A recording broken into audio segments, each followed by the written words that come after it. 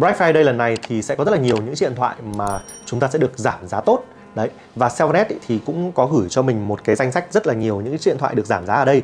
Thế thì ờ, ở trong cái danh sách này thì mình sẽ phân tích xem xem là cái giảm giá nào là hợp lý và cái giảm giá nào thì nó chưa hợp lý để mà mua. Đấy thì cũng cũng đứng đứng dưới góc độ uh, là một người dùng nếu mà đi mua điện thoại nó như nào để để chia sẻ cho anh em thôi. Black Friday rất nhiều sản phẩm sẽ được giảm giá khó tin tại Cellphone link mình để ở phía dưới ghim comment và mô tả nha. Thế ở đây đầu tiên là Cellphone họ gửi cho mình là cái S22 Ultra ở đây thì mình thấy là giảm giá xuống chỉ còn là 17 triệu 190 thôi. Nghĩa là đại loại là cỡ tầm hơn 17 triệu. Đấy tuy nhiên là nói thật với bạn chứ với cái um, mức giá này thì à, mình thấy là nó cái sự chênh lệch giữa S22 Ultra và S23 Ultra nó cũng là chưa nhiều.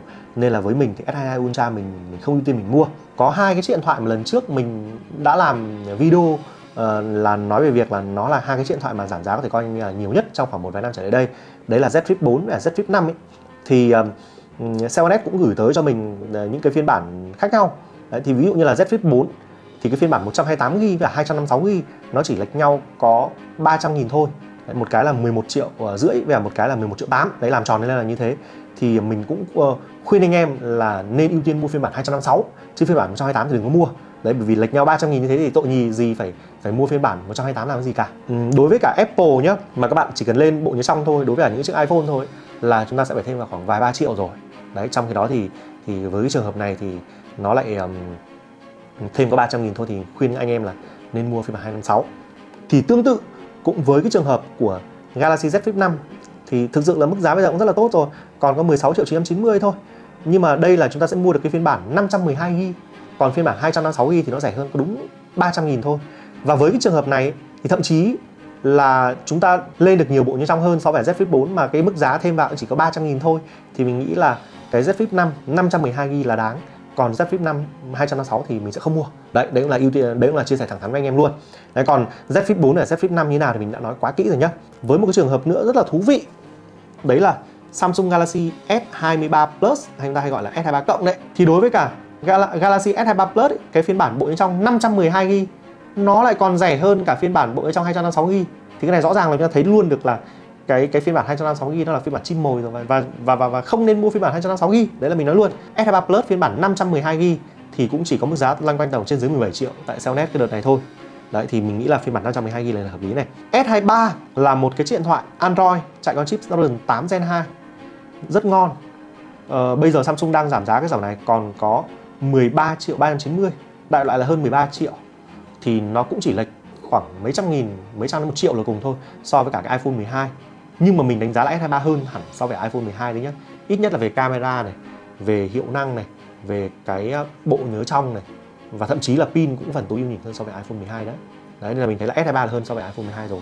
Nhưng nếu mà chúng ta bỏ qua cái yếu tố về thương hiệu đi, thì OnePlus 11 mới là ngon hơn nhiều so với cả S23 với cả iPhone 12 bởi vì mình cũng có tham khảo tại Cellnet. Bây giờ thì cái OnePlus 11 ở đây này, thì đang có mức giá là khoảng 12 triệu 990 nghĩa là rẻ hơn Galaxy S23 đấy là cái thứ nhất. Cái thứ hai nữa là so với cả uh, iPhone 12 và S23 thì OnePlus 11 sẽ có những điểm gì hơn à thứ nhất là thiết kế là mình thấy là đẹp hơn đấy là với mắt mình nhá.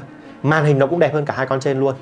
Đấy, hiệu năng thì là nó bằng S23 nhưng mà tối ưu nó tốt hơn S23 và hiệu năng của nó mạnh hơn iPhone 12 camera của nó thì sẽ xem thêm về S23 và nó sẽ có camera tốt hơn so với iPhone 12 còn thời lượng pin thì nó tốt hơn cả hai con luôn. Sạc thì nó nhanh hơn cả hai con rất là nhiều sạc 100W và hộp phụ kiện thì nó cũng đầy đủ hơn so với cả S23 với cả iPhone 12 rất là nhiều bởi vì nó có hộp phụ kiện có sạc 100W ở bên trong đó. Còn S23 với iPhone 12 hộp phụ kiện có cũng như không.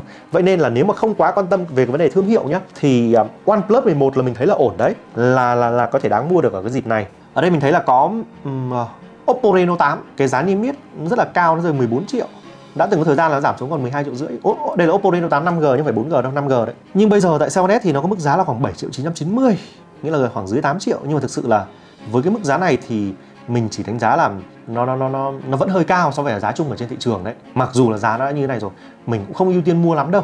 Nhưng mà nếu như bạn nào mà lại thích Oppo mà lại săn cái dòng này từ lâu rồi thì cái mức giá bây giờ nó giảm hơn so với ngày xưa cũng khá khá đấy thì cũng có thể để cân nhắc nhưng mà với mình thì mình sẽ không. Được chưa đây là đứng dưới góc độ là một người review ờ, hay là một người mà cũng săn hàng như anh em thì mình mình, mình tư vấn là như vậy. Tiếp tục nữa nào. Redmi 12C thì thực sự là đây là một cái điện thoại để dùng để cơ bản thôi. Chứ nếu mà chúng ta lấy cái thông số cấu hình ra của nó thông số cấu hình nó rất là bình thường rất là cùi. Nhưng vấn đề đây là gì? Đấy là bây giờ trong cái đợt Black Friday lần này còn hơn 2 triệu thôi thì hơn 2 triệu thực sự là mua về dùng cơ bản là, là được chứ cũng không đến nỗi nào đâu. Đấy con này là ok này nhưng mà con này thì cũng chỉ có cái cái chương trình khuyến mại chỉ áp dụng từ 9 giờ đến 11 giờ ngày 26 thôi nhé các bạn nhé, ngày 26 tháng 11 này nếu mà các bạn không quá lăn tăn về cái đề thương hiệu ấy, thì cái Infinix Hot 30i nhé các bạn nhé.